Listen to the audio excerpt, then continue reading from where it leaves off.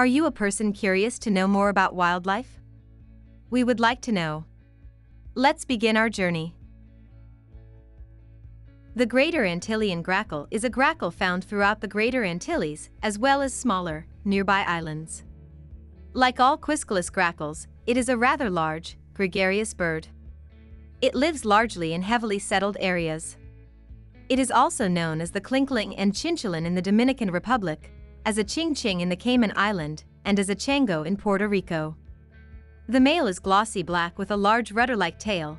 The female has a smaller tail and is similar in color, but less glossy than the male.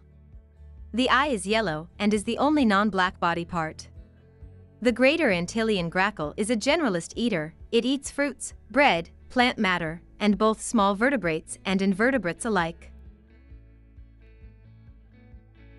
We will catch up pretty soon. Take care of your family, bye for now.